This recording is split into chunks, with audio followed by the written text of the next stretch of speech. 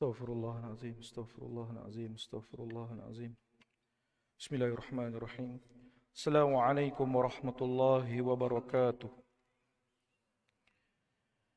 إن الحمد لله نحمده ونستعينه ونستغفره ونعوذ بالله من شرور أنفسنا ومن سيئات أعمالنا من يهده الله فلا مضل له ومن يضلل فلا هادي له أشهد أن لا إله إلا الله وحده لا شريك له وأشهد أن محمدا عبده ورسوله اللهم صل على محمد وعلى آل محمد كما صليت على إبراهيم ولعني إبراهيم وبارك على محمد وعلى آل محمد كما باركت على إبراهيم ولعني إبراهيم في العالمين إنك حميد مجيد سبحانك لا علم لنا إلا ما علمتنا إنك أنت العليم الحكيم Alhamdulillahilladzi arsala rasulahu bil huda wa dinil haqq liyuzhirahu 'ala ad-din kulli wa kafa billahi shahida.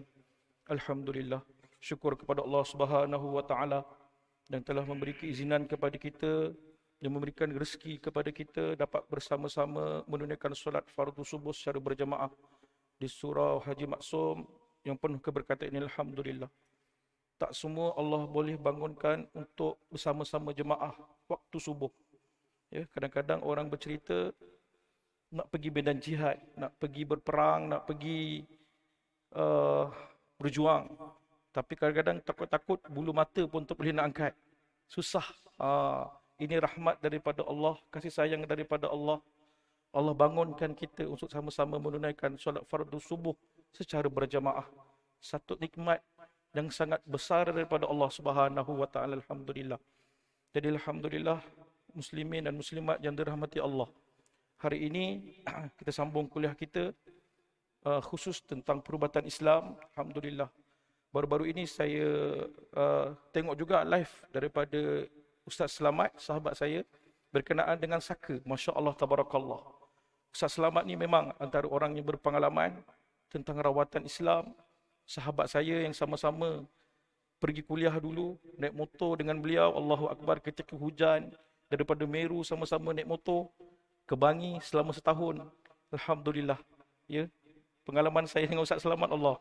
Pernah sekali motor Ustaz Selamat ni hilang punya lampu. Elektrik dia langsung tak ada. Lampu dia semua tak ada. Segenil tak ada lampu depan tak ada lampu belakang tak ada. Keadaan hujan lebat ya. Waktu tu hujan lebat, saya suluh dia daripada belakang guna motor. Eh, Ustaz Selamat naik motor LC, saya naik motor Legenda. Sesuluh berbelakang sampai sampailah ke sampai ke Meru. Alhamdulillah, itulah antara kenangan bersama-sama dengan Ustaz Selamat dan beliau seorang yang penuh pengalaman tentang rawatan Islam. Saya juga mendadah ilmu daripada beliau bertanya tentang rawatan-rawatan tentang rawatan tentang Islam ini, tentang perubatan Islam. Alhamdulillah.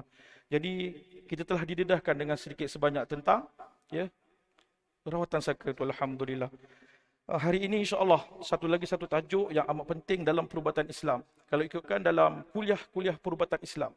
Mana-mana yang kita pergi, mana-mana kursus-kursus yang kita pergi, kuliah-kuliah khususan tentang perubatan Islam.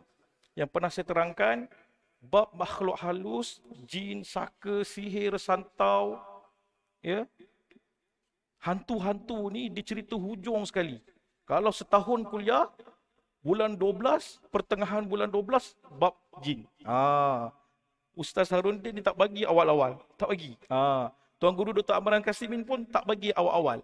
Dia bagi yang awal-awal ni tentang ikhlas, keikhlasan kita, ibadah-ibadah yang perlu kita jaga, amalan-amalan yang perlu kita jaga, amalan-amalan peninding yang perlu kita buat, kekuatan rohani, tu tentang penyakit fizikal awal-awal. Sehinggalah sebulan sebelas bila dah masuk bulan 12, pertengahan bulan 12, baru cerita bab hantu. Ha, saka, jin, sihir, gangguan. Baru dia masuk bab yang betul-betul menarik. Santau dan sebagainya. Okay, ha, itu pengalaman kita. Mana-mana saya jumpa dengan Syah Abu Barok sama pun, dia tak cerita dulu tentang jin. Dia cerita dulu bab tentang manusia punya masalah fizikal. Okay, sebab dia rupanya ada kaitan. Ya, tentang masalah fizikal akan terkait dengan masalah gangguan jin. Ha, itu yang biasa berlaku lah. Alhamdulillah hari ini sebelum ini saya dah uh, menceritakan dah berkongsi apa nasihat ulama kepada perawat. Bagaimana kita nak tengok perawat itu, ya? ciri-ciri perawat itu. Bagaimana Syekh Abu Barak mendetailkan inilah perawat yang boleh kita jumpa. Inilah perawat yang boleh kita ambil ilmunya. Inilah perawat yang boleh kita gunakan kaedahnya sebagai ikhtiar uh, merawat penyakit. Kita dah jelaskan pada kuliah yang lepas. Dia kena seorang yang ada ilmu tentang fiqah, tentang ilmu Al-Qurannya. Dia kena ikhlas dalam merawatannya. Tidak boleh merendah-rendahkan pesakit yang datang. Ha, itu antara ciri-ciri ya, seorang perawat yang melakukan rawatan secara Islam. Ha, kadang-kadang baru-baru ini ada orang menafikan. Sebenarnya tak ada pun istilah perubatan Islam. Tak ada. Ada yang menafikan. Sebab apa? Dia kata keseluruhan perubatan yang ada dekat sini selagi ia tidak melanggar syarak, itu dikira perubatan Islam. So ada juga yang menyanggah. Sebab dalam perubatan-perubatan lain tidak menggunakan Al-Quran. Tidak dibacakan dengan Al-Quran. Bila dia ada perkataan Al-Quran, ada ditambah lagi penggunaan doa-doa daripada Nabi, yes, kat situ ada kekuatan dia situ kena letak perkataan Islam supaya tidak tercemar, supaya dia tidak terkeluar daripada landasan yang sepatutnya. Uh, ada orang menggunakan rukyah juga jampi tapi tidak selari dengan syarat. Tak boleh dikira lagi perubatan Islam. Maka dia terkeluar. Ada juga perubatan-perubatan Ayurveda dan sebagainya. Menggunakan jampi-jampi yang mereka gunakan. Itu bukan lagi rawatan Islam. Sebab digunakan rawatan Islam, pengkhususan dalam rawatan Islam, perubatan Islam, Ya, sebab dia ada perkataan Islam kat tepi itu dia bergantung kepada Al-Quran dan Sunnah. Tak boleh terkeluar. Ah, okay? Itu kita kena jelas. Jadi hari ini kita nak pergi. Apa nasihat ulama pula kepada pesakit?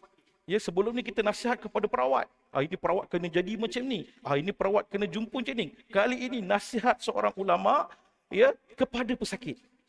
Okay? Sebab kita ni kadang-kadang perawat tu dah okey. Masalah kepada pesakit pula. Ah, sebab itulah kadang-kadang sehat itu tak datang-datang. Sakit itu bertambah-tambah. Sakit yang kita ya hadapi, penderitaan yang kita hadapi, ya mula-mula dah okey tapi datang balik, sakit balik. Okey? Ah, itu yang biasa berlaku. Kenapa tak sembuh-sembuh? Kenapa penyakit ni lama sangat? Lepas satu, satu, lepas satu, satu, lepas satu, satu, tak selesai-selesai. Ha, so jadi ada satu ya ulama daripada Indonesia yang saya kaji dan saya rujuk antara tempat rujukan yang selalu saya buat. Nama dia Ustaz Yazid bin Abdul Kadir Jawas, seorang ulama terkemuka di Indonesia. Bila mengarang satu kitab, satu kitab yang dinamakan Hikmah dalam Musibah. Memang dikarang satu kitab Hikmah dalam Musibah. Dekat situ ditulis detail tentang uh, bagaimana seorang uh, pesakit ini perlu menghadapi musibah atau ujian daripada Allah.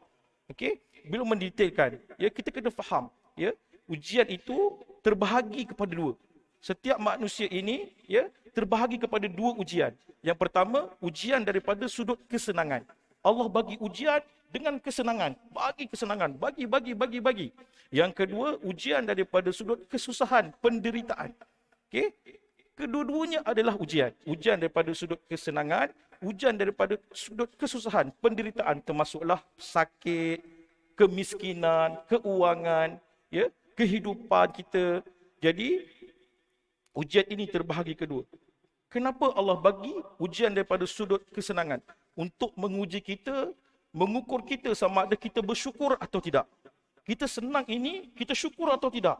Yang kedua, jika Allah uji dengan kesukaran, ya, penderitaan, penyakit dan sebagainya, Allah nak uji kita, ukur kita sama ada kita sabar atau tidak.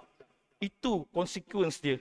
Ya, kita senang syukur atau tidak, kita susah sabar atau tidak. Sebab itu Allah uji kita. Dua-duanya Allah nak naikkan darjat kita, dua-dua Allah nak bagi pahala kepada kita. Ada seorang guru, saya tak ingat nama dia, tapi saya ingat kata-kata dia. Saya jadikan antara satu panduan untuk kita. Okey, dia kata macam mana nak uji kita ini diuji oleh Allah atau kita diterima, kita diberi bala oleh Allah. Ini bala keujian ni. Mana garisan kita nak tengok? Ha, kadang-kadang kita tak tahu. Eh, mana ujian? Mana uh, ni bala? Kan? Ini bala ke ujian? Okey, antara guide yang ditunjukkan, antara saya saya tengok agak betul ya kita tengok bila kita diberi satu ujian itu, kita dekat ke atau jauh dengan Allah? Kalau kita makin diuji, makin kita dekat dengan Allah. Makin kita bersabar, makin kita reda. Itu ujian buat kita. Tapi bila kita diuji dengan kesusahan, datang kesusahan, datang penderitaan, kita makin jauh dengan Allah. Makin kita lupa dengan Allah. maka takut-takut itulah bala daripada Allah. Kita lupa dengan Allah. Kadang-kadang bila kita dah lama sakit, kita mula merungut. Kita mula merungut, salahkan takdir. Allah tak nampak kita ke? Eh Allah, Allah ni tengok saya je ke bila datang pesakit? Ini yang benar-benar berlaku. Datang pesakit, Ustaz, Allah nampak saya seorang je ke? Allah nampak saya seorang ke? Allah, Ustaz kata Allah sayang kita dengan uji kita. Allah tak nampak orang lain, orang yang sehat je. Saya dah lama dah sakit. Allah tak nampak orang lain ke Ustaz? Sampai macam tu disebut. Kalau ikutkan, dia kena syahadah balik tu. Dia mengidapkan takdir Allah Subhanahu Wa Taala. Boleh terkeluar daripada Islam tu. Disalahkan Allah Subhanahu Wa Taala. Salah. Sebab mungkin dia dah terlalu kecewa. Dia dah terlalu kecewa. Ha, itu kita kena tengok. Bila dia semakin dekat dengan Allah, kita diuji oleh Allah dengan semakin dekatnya kita kepada Allah, semakin kita reda dengan ujian Allah bagi, itu tanda rahmat daripada Allah. Itulah ujian untuk kita. Tapi sekiranya sesuatu perkara yang keburukan berlaku kepada kita, kita makin jauh dengan Allah. Makin salahkan takdir. Makin kita menyumpah serana. Makin kita kecewa. Takut-takut itu bala daripada Allah. Takut-takut itulah istidraj untuk kita. Ah, itu kita itu saya tak ingat nama guru yang ajar tu, tapi itulah saya rasa betul. Dan itulah antara guide yang boleh kita gunakan. Kita tengok diri kita. Bila kita makin dekat dengan Allah, insya-Allah itulah ujian. Okey? Itu yang pertama. Kita kena tengok. Kita tengok, kita kena faham dua ujian yang Allah beri kepada kita daripada satu kesenangan, daripada yang kedua penderitaan. Kadang kesenangan ni kita okey. Kita insya-Allah kita boleh bersedekah, kita boleh infak, kita boleh lagi ya membantu orang-orang lain dengan kesenangan yang Allah berikan kepada kita. Kebiasaan manusia akan diberi ujian dengan kesusahan, penderitaan, penyakit dan sebagainya. Okey, kita tengok kita pergi pada khususan kepada penyakit sebab kita dalam kuliah perubatan. Jadi biasanya bila pesakit ini ditimpa musibah, penyakit, jiwa dia akan lemah. Dia mula kurang sabar, dia mula rasa down sebab dia rasa bila sakit ni dia tak boleh nak buat apa-apa dah. Dia tak boleh nak bantu keluarga, kan? Nak pergi bekerja pun dah mula susah kehidupan dia mula terganggu, dia mula jadi tekanan perasaan, dia mula jadi kemurungan, mula menghadapi masalah psikologi, tekanan-tekanan yang didapat, itu biasa berlaku kepada kita semua. Bila datang sesuatu ujian penyakit kepada kita. Jadi ada hikmah yang dapat kita jadikan sebagai motivasi daripada ujian ini. Ya Ustaz Abdul Kadir Jawas ini menuliskan sangat menarik. Apa yang saya dapat ini juga saya gunakan ya. Ketika mana saya diuji oleh Allah ketika itu dalam ICU saya dah tak tahu nak buat apa-apa dah. Saya dah lost. Dah ya Allah macam mana saya nak buat apa dah ni? Tengok kawan sebelah meninggal. Kawan depan saya meninggal. Ketika itu doktor kata saya dah 70 30 dah. Kamu ada 30% lagi nak hidup sebab kita punya nafas dah tak dah tak boleh nafas dah. Allah dah cabut nikmat nafas saya dah. Ketika itu COVID, musim yang pertama. Tahun 2020 serangan covid yang mula-mula. Saya antara pesakit terawal duduk dalam ICU Sungai Buloh. Ah saya antara yang terawal. Tengok kematian tu hari-hari. Dalam 9 hari alhamdulillah saya cuma 9 hari je di ICU dia tengok ya Allah Allah uji waktu tu. Bila tengok kematian kita rasa lepas ni kita kanan meninggal kiri meninggal depan dah meninggal bila doktor masuk kejap tanya keadaan macam mana tahu-tahu doktor dah lari pergi ke bilik sebelah emergency nak buat CPR. Dia nak mati dah orang tu. Kita dah ya Allah, kita dah down. Ya Allah, apa lagi yang tinggal ni ya Allah. Kita dah cukup takut. Jadi antara motivasi yang saya dapat ni. Ini antara motivasi yang saya dapat daripada hikmah yang Allah berikan. Jadi saya kongsikan insya-Allah. Yang pertama, kenapa Allah timpakan kita penyakit? Kenapa Allah timpakan kita kesusahan, penderitaan? Yang pertama Allah nak menghapuskan dosa-dosa kita dan kesalahan kita. Allah nak hapuskan dah dosa-dosa kita. Mungkin dengan istighfar belum cukup untuk Allah ampunkan. Mungkin dengan amalan yang kita buat, amalan yang kita buat belum cukup untuk mengampunkan kesalahan dan kesilapan kita. Allah ampunkan dengan cara memberi kita sedikit ujian kesakitan. Ya, kita tengok eh dalilnya daripada Abdullah ibnu Mas'ud radhiyallahu anhu. Rasulullah sallallahu alaihi wasallam bersabda, tidaklah seseorang muslim tertimpa sesuatu penyakit atau sejenisnya melainkan Allah akan menggugurkan dosa-dosa bersamanya seperti pohon yang menggugurkan daun-daunnya Hadis riwayat Bukhari dan Muslim muttafaqun alaih. Jadi hadis ini hadis yang sahih. Ya Nabi kata Allah akan ampunkan dosa-dosanya seperti daun-daun yang berguguran. Macam mana daunnya gugur, macam itulah dosa-dosa kita akan gugur. Dengan syarat. Dengan syarat. Kita sabar dan tabah. Tapi nak dapat sabar ni bukan senang. Kita boleh cakap. Yang kena tahulah. Yang sakit, yang diuji. Ah, Ustaz pandailah cakap. Nak sabar, sabar. Macam mana nak dapat sabar tu? Macam mana nak dapat kekuatan hadapi ujian tu? Allah rupanya dah ajar kita. Wasta'inu bisobri wassalah. Dengan solat. Allah gabungkan kedua-dua sekali. Allah tak larikan kedua-duanya. Dengan solat, kita dapat bersabar. Solatlah. Bangun malam, bangun malam. Tak dapat banyak, tak apa. Sekurang-kurangnya dua rakaat pun dah memadai. Tahajud tu. Itulah sumber kekuatan yang ada. Itulah yang Allah tunjukkan. Allah sebut di dalam Quran. Bersabarlah dengan mendirikan solat. Itu gabungan yang cukup menarik.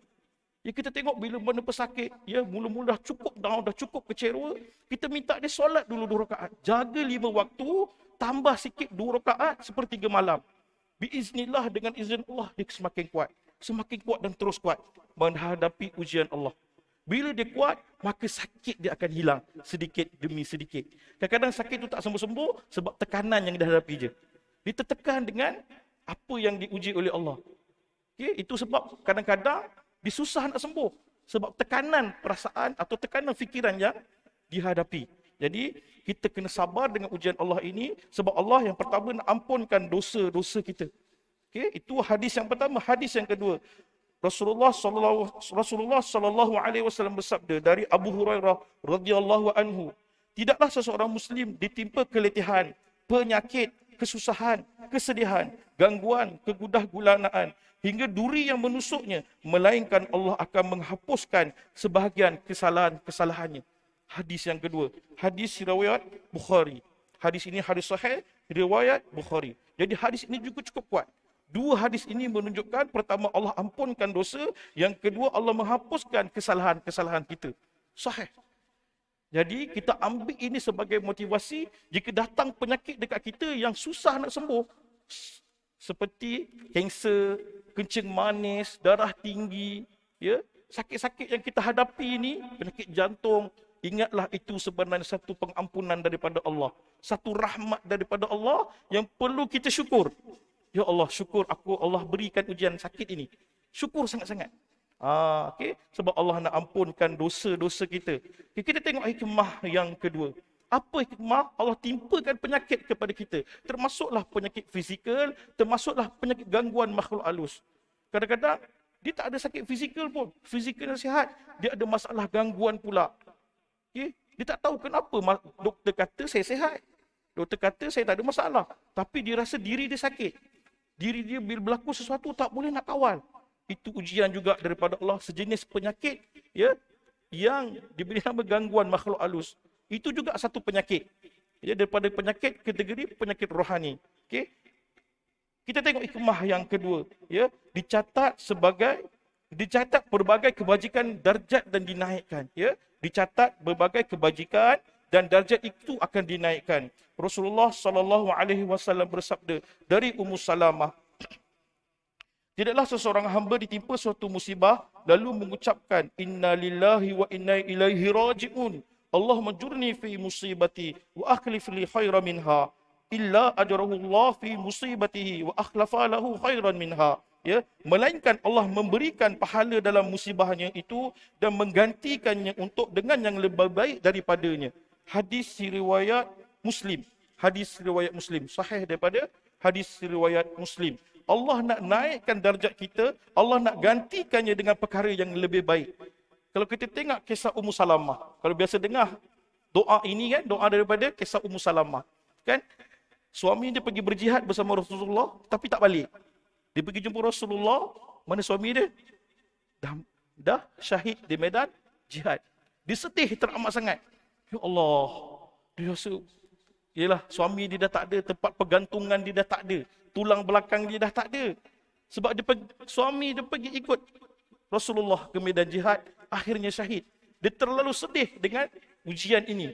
Jadi, dia bertemu dengan Rasulullah, Rasulullah ajarkan doa tadi itu. Sebut ini, istirja tak salah dia punya doa qala inna lillahi wa inna ilaihi rajiun Allah majurni fi musibati wa khluf li khaira minha Allah akan gantikan dengan perkara yang lebih baik. Kita minta dengan Allah gantikan dengan perkara yang lebih baik. Okey? Apa yang berlaku? Allah gantikan suaminya yang syahid dengan nabi sendiri sebagai suaminya. Allahu akbar. Rasulullah menjadi suami kepada Ummu Salamah. Allahu Akbar. Ummu Salamah ni antara periwayat hadis yang banyak. Ya, sebab dia beliau adalah isteri kepada Nabi SAW selepas suaminya syahid. Suaminya syahid dan digantikan Nabi sendiri selepas Nabi ajarkan doa tadi. Jadi bila berlaku musibah, jangan tinggalkan doa ini yang diajarkan oleh Nabi. Moga-moga musibah yang kita dapat, sakit yang kita dapat, Allah gantikan dengan perkara yang lebih baik. Insya Allah. Seperti mana yang berlaku kepada Ummu Salamah. Okey, itu hikmah yang kedua.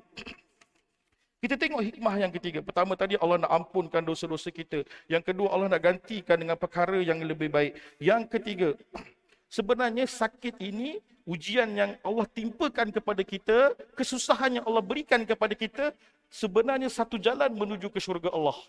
Satu jalan untuk kita menuju ke syurga Allah. Okey, kita tengok ada ke dalil dia? Ada. Rasulullah sallallahu alaihi wasallam bersabda, riwayat daripada Abu Hurairah juga. Okey, daripada Abu Hurairah, Nabi sallallahu alaihi wasallam bersabda, syurga itu dikelilingi dengan hal-hal yang tidak disukai dan neraka itu dikelilingi dengan berbagai macam syahwat. Hadis riwayat Bukhari dan Muslim, muttafaqun alaih. Jadi hadis ini hadis yang cukup kuat, ya. Nabi sallallahu alaihi wasallam bersabda, syurga itu dikelilingi dengan hal-hal yang kita tak suka. Sakit, siapa suka sakit? Kesusahan, siapa suka kesusahan? Siapa suka penderitaan? Tak suka. Benda itu benda yang kita tak suka. Allah uji juga. Siapa suka peperangan? Tak suka. Muslim, kita sebagai orang Muslim daripada dulu, ya, walaupun zaman Nabi, sebabkan perintah daripada Allah, kita pergi berjihad. Benda tu kita tak suka. Sebenarnya itulah jalan menuju ke syurga. Benda syahwat ini, benda yang menarik, benda maksiat ini sebenarnya benda yang kita suka. Maksiat ini sebenarnya ya syaitan membuatkan kita suka lakukan. Melengahkan waktu solat, kita suka tak solat kadang-kadang. Kadang-kadang kita suka melakukan benda-benda lara. Maksiat sebenarnya seronok. Saya tak nafikan. Mana ada maksiat yang tak seronok? Ya, Maksiat itu seronok seketika. Tapi sebenarnya bala daripada Allah lah. Ya, Nabi sendiri sebut daripada hadis riwayat Bukhari dan Muslim ini bahawa ujian sakit ini jalan menuju syurga. Sebab ya syurga itu dikelilingi benda-benda yang kita tak suka. Ah, so jadikan ini sebagai motivasi untuk kita. Kita tak suka dengan sakit yang kita hadapi, kita sabar. Rupanya inilah jalan untuk kita menuju ke syurga Allah. Ah, tu bila kita dapat satu motivasi macam ni, kita akan terus redha dan insya-Allah kita boleh bersabar dengan ujian daripada Allah. Seterusnya yang keempat, dia ada enam ya, hikmah yang utama. Allah kadang-kadang bagi kita penyakit, sakit yang kita hadapi ni sebenarnya untuk mengembalikan kita kepada Allah Subhanahu Wa Taala. Untuk kita ingat dengan Allah. Mungkin dulu kita lupa dengan Allah. Mungkin kita lupa. Masa sihat kita lupa. Sihat kita kurang zikir kepada Allah. Masa sihat kita, dulu kita kurang pergi masjid. Bila dah mula sakit, bila Allah uji sedikit dengan kesakitan, barulah kita cari Allah. Biasa macam tu. Dah sakit, baru nak cari ikhtiar untuk berubat. Dan ubat pula kita bagi zikir-zikir. Suruh pesakit berzikir. Makin kita dekat dengan Allah. Ya, Allah berfirman dalam surah Al-An'am ayat yang ke-42 dan sungguh kami telah mengutuskan rasul-rasul kepada umat-umat sebelum engkau. Kemudian kami seksa mereka dengan menimpakan kemelaratan dan kesengsaraan agar mereka memohon kepada Allah dengan kerendahan hati. Ha, Allah bagi ujian kepada umat sebelum ini dengan siksaan dan kemelaratan agar mereka memohon kepada Allah. Tu dia minta Allah minta kita mohon kepada Allah Allah bagi sikit sakit kepada kita, sedikit jentik daripada Allah supaya kita ingat kepada dia, baliklah kepada Allah. Baliklah kepada Allah. Sebab itu rukyah ini sangat cantik. Kita ikhtiar dengan makan Panadol, kita baca doa, sembuhkan aku ya Allah. Ikhtiar dapat, tawakal pun dapat gabung sekali. Kan cantik? Ah, pergantungan kita dengan Allah tu. Bukannya ubat itu yang sembuhkan kita. Wa idza maridtu fahuwa yashfin. Apabila aku sakit, maka Allah lah yang sembuhkan. Jadi bila kita makan ubat paracetamol ke, kita makan ubat darah tinggi ke, kita makan ubat kencing manis ke, jangan tinggalkan pergantungan kita kepada Allah. Ya Allah sembuhkan aku ya Allah. Ha, bergantungan kita kepada Allah dan ikhtiar yang kita buat, ikhtiar makan ubat, doa yang kita buat. Masya Allah. Itu yang disebut oleh Tuan Guru Sarundin. Kadang-kadang ubat itu yang bukan sembuhkan. Doa tawakal kita itu penguat kepada usaha kita. Masya Allah. Okay? Sebab itu bila kita sakit, sebenarnya kita nak dekatkan diri kepada Allah. Allah nak suruh kita dekat, carilah Allah. Carilah Allah. Kadang-kadang bila kita usaha, tak jumpa-jumpa penyakit. Tak jumpa-jumpa jalan kesembuhan. Bila dia doa, bila dia solat, makin kurang penderitaan dia. Ah, itulah sebenarnya Allah nak jentik supaya dia terus beramal. Supaya dia dekat dengan Allah. Itu yang biasa kita jumpa. Mungkin dulu, ya, dia tak perasan. Lama-lama rupa-rupanya, dulu aku tak hafal pun zikir pagi petang. Bila dah kena sakit, dah mula hafal zikir pagi petang. Dulu mungkin tinggal solat. Lepas kena sakit, mula jaga solat. Ha, itulah. Biasanya itulah ujian yang diberikan kepada manusia. Bila dia jauh dengan Allah, takut-takut itulah bala kepada mereka. Kena hati-hati. Ya? Okay, seterusnya, yang kelima.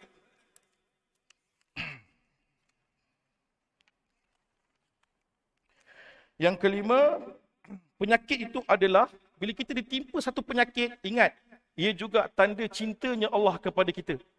Allah cintakan kita, Allah sayangkan kita. Okey? Daripada uh, daripada Anas bin Malik, daripada Anas bin Malik, Nabi sallallahu alaihi wasallam bersabda, sesungguhnya besarnya pahala itu tergantung kepada besarnya ujian. Masya-Allah makin besar ujian kita, makin besar pahala yang kita akan dapat. Dan sesungguhnya, jika Allah menyukai sesuatu kaum, maka dia akan memuji mereka. Barang siapa yang reda, maka baginya keredaan. Dan barang siapa yang murka, maka baginya kemurkaan. Kalau kita reda, Allah reda dengan kita. Kalau kita murka, kita ya, kecewa dengan apa yang berlaku, maka Allah akan murka dengan kita. Kita marah dengan apa yang berlaku dengan kita, maka tunggu kemurkaan Allah kepada kita. Itu hadis daripada riwayat Tirmizi, ya, dinilaikan sahih oleh Al-Albani. Jadi hadis ini hadis sahih. Okay. Ingat, sesungguhnya besar pahala itu tergantung kepada besarnya ujian. Semakin besar ujian yang kita dapat, semakin berat penyakit yang Allah timpa kepada kita, semakin besar pahala yang kita akan dapat. Dengan syarat, sabar dan redha. Ha, sabar dan redha. Redha. Ha, redha kita terima. Nak sabar itu ujian lagi berat lah sebenarnya. Kita boleh terima. Kadang-kadang nak sabar itu juga satu ikhtiar yang kita kena buat. Tak ada cara lain, solat. Itulah kunci yang ada. Lepas solat, insyaAllah benda lain mula melekat. Kita mula ringan untuk zikir, kita mula ringan untuk beribadah. Kunci dia, solat. Buat dulu. Jaga lima mana-mana lah orang minta nasihat ke, orang minta eh, apa boleh kita buat ni, kita dah tak tahu dah buat apa-apa dah. Kembalilah kepada Allah, perbanyakkan istighfar. Ya, banyakkan istighfar, Allah akan bukakan jalan penyelesaian. Dan yang terakhir, bila kita sakit, ya, ingatlah ya, setiap penyakit mesti ada ubat. Pasti ada ubat. Ya, Rasulullah sallallahu alaihi wasallam bersabda daripada Abu Hurairah radhiyallahu anhu, "Ma anzalallahu da'an illa anzalalahu shifaan." Allah tidak menurunkan penyakit melainkan pasti menurunkan ubatnya. Orang akan petikai. HIV tak ada ubat pun. HIV. Kan? HIV tak sembuh-sembuh pun. Tak ada ubat yang boleh dikeluarkan. Setakat yang saya pernah jumpa dengan izin Allah, dua pesakit. Saya pernah saya dah merawat daripada tahun 2009 sehingga hari ini. Hanya saya dapat dua pesakit yang ada HIV positif. Ya, HIV positif yang seorang sekarang ni dua-dua pesakit ini bertahan dengan izin Allah seperti tidak sakit. Dia punya virus ada wujud dalam badan, masih ada tapi tidur. Dia tak aktif. Dia tak aktif. Ah, dia boleh bekerja seperti biasa, dia boleh melakukan aktiviti seperti biasa. Sekali kita tengok macam orang sihat buat afiat. Ya, dah hampir 10 tahun dia kena.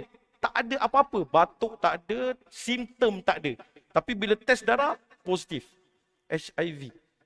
Ha, kalau tanya macam mana dia kena, ha, yang pertama daripada family lah. Daripada mak, mak positif, kena ke anak. Anak jadi positif. Orang muda umur 20-an. Yang kedua, umur dalam 40-an. 45, 46 tahun macam itulah.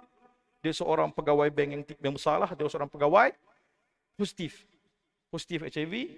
Kalau tanya mana punca, faham-faham lah. Ha, HIV ni tak ada lain.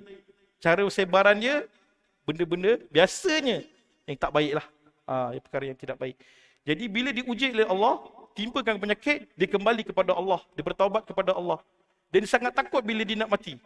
Ha, bila kena HIV, kita rukyahkan, gabung dengan doa, eh, bergabung dengan ubat daripada hospital, dengan izin Allah, virus dalam badan tidur. Walaupun tak mati. Dia tidur. Ha, kalau tak, biasa dalam 3 tahun, 4 tahun, dia dah mula batuk, kena TB, dia mula penyakit kulit yang teruk, dan kena eczema yang cukup teruk, tak boleh nak sembuh eczema yang dia kena keluar kudis-kudis. Itu biasa yang pesakit HIV positif akan kena. AIDS, HIV positif. Jadi bila terlalu lama, virus itu makin makin kuat, makin kuat, semakin kuat.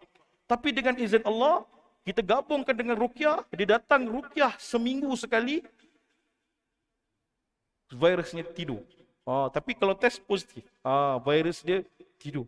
Dia dah pergi umrah banyak kali dah. Walaupun dia positif, dia boleh pergi umrah lagi. Dia boleh sekarang tengah mohon nak pergi haji. Moga-moga Allah pun memudahkan sakit inilah dengan izin Allah. Jadi dia belum ada zuriat, dia takut ya untuk dapatkan zuriat, doktor dah halang dah, dah tak boleh. Ya, dia tak boleh dapat lagi zuriat dan dia tak ada zuriat lagi. Cuma dia tahu untuk uh, dia ada positif sebab zuriat lah. Buat test darah, rupa-rupanya positif. HIV. So doktor stopkan terus daripada dapat zuriat. Tak digalakkan untuk mendapat zuriat. Jadi saya yakin setiap penyakit mesti ada ubat. Mesti. Dah Tuan Guru Ustaz Arun juga sebut. Mana ubat-ubat ni datang? Semuanya berhampiran dengan kita. Mudah kita dapati. Kadang-kadang cuma kita tak tahu dan tak perasan. Ubat-ubat yang boleh kita gunakan untuk penyakit yang uji kepada kita, sebenarnya ubat-ubat itu ada berdekatan dengan kita mudah kita dapati dan ini tak sukarlah. Ini yang Tuan Guru Ustaz Harun yang sebut dalam kuliah perubatan. Sebenarnya senang. Cuma kadang-kadang kita tak perasan dan kita tak tahu. Oh ini rupanya ubat penyakit aku. Dekat aja. Ha, sebab tu bila jumpa perbomohan, perdukungan, kadang-kadang dia minta benda pelik-pelik, abaikan. Tak perlu ambil dah. Kita tak perlu ambil. Sebab Allah tu bukan nak susahkan kita. Agama Islam ini tak susahkan kita sebenarnya. Tak pernah nak susahkan kita. Jadi kita ambil sebenarnya memang ya kadang-kadang ubat itu sangat hampir dengan kita. Cuma kita je tak perasan. Okey. Yang kedua, Rasulullah sallallahu alaihi wasallam bersabda, ya. Daripada Jabir radhiyallahu anhu, setiap penyakit ada ubatnya. Jika sesuatu ubat itu tepat untuk sesuatu penyakit, maka penyakit itu akan sembuh dengan izin Allah. Okey. Setiap penyakit ada ubatnya. Jika sesuatu ubat itu tepat untuk sesuatu penyakit, maka penyakit itu sembuh dengan izin Allah. Ha, bila kena dengan penyakitnya, ubat yang kita berikan, herba yang kita berikan, sembuh dengan izin Allah. Sebagai contoh, setakat ini yang saya pernah rawat, kes uh, kayap. Penyakit kayap yang sangat sakit. Ya, bila kena kayap ni orang yang pernah kena kayap dia tahulah panasnya, bisanya kayap memang sangat sakit. Kan? Dia jadi panas sakit tempat yang kena kayap. Serupanya ubat dia yang setakat saya gunakan bedak sejuk saja. Ubatnya bedak sejuk. Kan senang bedak sejuk. Dengan izin Allah. Tapi ada satu lagi barang. Rumput sambal. Rumput helikopter je. Rumput yang rumput Israel yang susah nak mati tu. Ada kat tepi-tepi jalan ni. Akar rumput sambal. Dan bedak sejuk. Dicairkan bedak sejuk dengan air yang kita dah doa cairkan dia, akar rumput sabau tu, kacaukan dia, sapu dekat kayap. Biiznillah sembuh.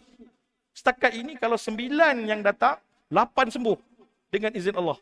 Dia jadi sejuk, jadi kering. Dalam tempoh dua hari, tiga hari, biiznillah boleh sembuh. Rupanya bedak sejuk dah memadai dengan izin Allah. Ha? Kayap, kayap sakit. Memang cukup sakit.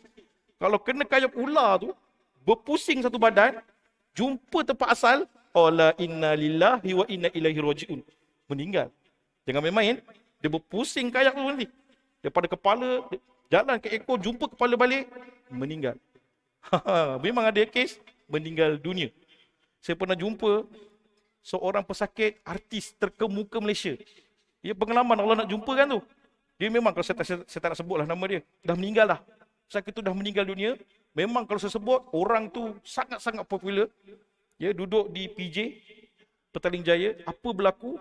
Kayap ni tak timbul dekat dalam badan. Kat luar memang clear. Kulit kat luar clear. Cuma kayap tu berlaku dekat dalam sebalik kulit tu. Doktor nampak ada macam kudis-kudis kat dalam seperti kayap. Sampai pembantu rumah dia, kalau sakit tu datang, bisa tu datang, dia ketuk guna kayu. Dia ambil kayu, dia pukul. Tam, tam, tam. Dia pukul. Untuk hilangkan sakit bisa kayap tersebut. Ha. Okay? Itu penderitaan terakhir. Ya. Artis tersebutlah. Lama-lama tak sampai dua bulan, dua dia meninggal. Tak lama selepas sakit yang diderita itu, meninggal dunia. Dia meninggal. Doktor yang disebut pada saya lah, yang setahu saya, yang disebut, memang dikata, doktor kata dalam badan tu ada kayap. Seperti kayap. Penyakit itu seperti kayap yang berjalan di dalam badan. Bila sampai masa, pembantu dia ambil satu kayu yang agak besar juga lah, macam rotan tu. Rotan dia lebih kurang besar juga. Dia ambil, dia pukul tempat yang sakit dekat belakang badan. Hmm, putu. Dia bukan garu lagi dah. Dia pukul. Saya cakap, pukulan itu sebenarnya tak rasa apa-apa dia kata. Dia pukul, pukulan tak rasa. Sakit itu yang dia rasa. Ha, sampai tahap tu. Okey, itu yang berlaku sebenarnya. Kalau kayap ni, Masya Allah, memang sakit. Tapi rupanya, setakat yang kita pernah ikhtiar dengan izin Allah, rumput yang orang kata tak guna tu, dengan bedak sejuk, dengan izin Allah, sembuh. Ha, sembuh dengan izin Allah. Bedak sejuk. Tapi yang terbaik, bedak sejuk yang kita buat lah, yang diperap lebih enam bulan. Ah Itu yang the best. Kalau mana isteri-isteri yang pernah buat, atau nenek-nenek kita buat, sangat baik. Diperapkan beras itu sehingga enam bulan, digunakan sebagai ubat. Biiznillah. Terbaik. Kalau ada, simpan. Boleh buat ubat, kayap. Ah, boleh buat jadi sebagai ubat kayap. Dulu orang guna apa air liur janda kahwin dengan apa? Anak apa? Kan, Haji? Janda kahwin dengan bujang. Kan? Ha, itu itu petua, petua. Keluar soalan ketika kuliah. Ustaz, boleh ke guna tu? Ustaz boleh tak guna air liur janda? Eh, tak silap air liur kan? Air liur janda kahwin dengan bujang. Tak pun bujang kahwin dengan janda. Macam tu lah. Dia pusing-pusing itu. Ha, tapi bila kita jumpa kaedah yang lebih baik, tak gunakan air liur. Kan? Lebih baik kita gunakan bedak sejuk. Ha, nak cari janda pula bukan senang sekarang. Kahwin dengan bujang. okay? Ha, itu contohlah, contoh ada benda yang lebih baik kita gunakan yang lebih baik. Kalau ikutkan benda tu pun tak sesuai. Air liur ini najis. Ya bila kita keluar daripada tidur kita kita tahu air liur tu berapa lama dalam mulut dia. Kena pula waktu kita bangun tidur kita jumpa dengan dia kita minta kan dia jadi najis. so gunakan air liur dia sapu tempat yang sakit. So kita tinggalkan kaedah tersebut, kita ambil kaedah yang lebih baik. Okey? Itu contoh. Okey, itu enam hikmah yang Allah berikan ketika kita sakit. Kita ambilkan ia sebagai satu perkara motivasi untuk kita diuji oleh Allah. Kita nak sabar. Kadang-kadang bila pesakit datang, kita sakit, kita tak sabar. Ustaz, bila nak sembuh? Dah banyak kali ni jumpa ustaz ni. Tak sembuh-sembuh ni. Penat dah ni. Tak sabar. Macam mana nak sembuh? Sebab dia tak sabar. Cuba sabar. Buat amalan tu istiqomah, perlahan-lahan. Kadang-kadang, buat kelang kabut. Zikirnya kelang kabut. Subhanallah, subhanallah, subhanallah, subhanallah, subhanallah. Nak kerja. Nak kerja target. Ustaz ni suruh baca seribu sekali.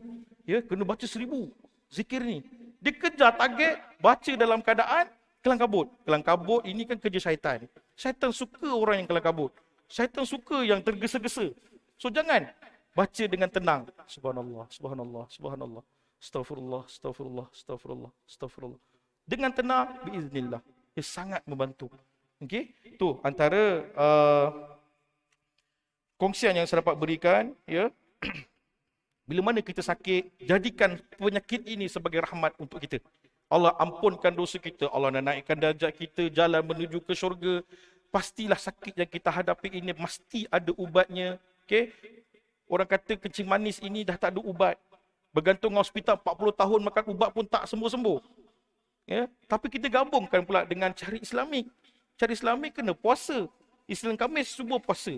Puasa tiga hari dalam sebulan tu. 13, 14, 15. Kan? Puasa tu diistiqomahkan. Kawal pemakanan.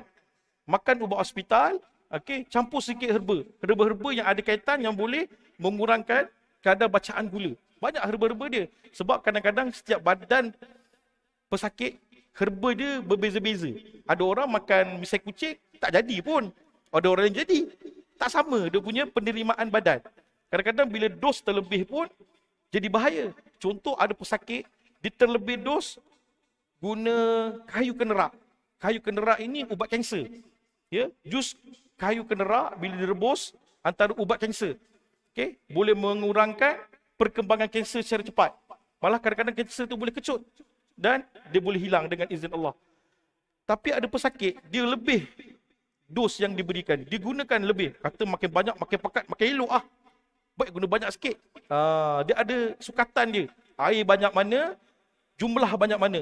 Bahan yang kita nak gunakan. Segenggam ke, segenggam kayu kenerak ke, ataupun kita nak gunakan dua genggam ke, ah tu kena kena ada ada ada dia punya kaedah. Okey, ada pun sakit dia buat lebih.